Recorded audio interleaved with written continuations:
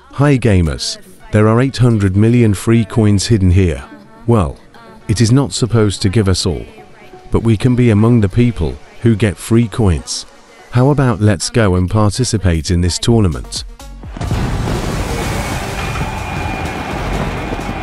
As you know, Konami has signed a contract with FIFA to launch the World Cup, which is really a wonderful event. Only 18 countries can participate in the first round of the tournament. Let's go to participate in his tournament.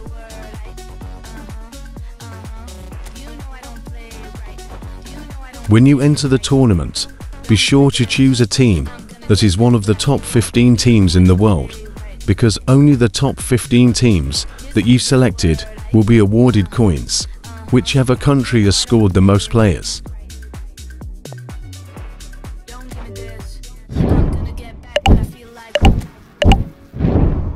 This tournament consists of three processes.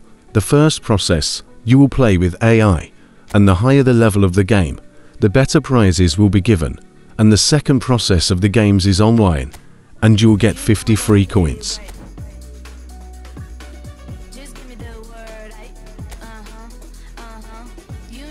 Now click Tournament Rewards on the upper part.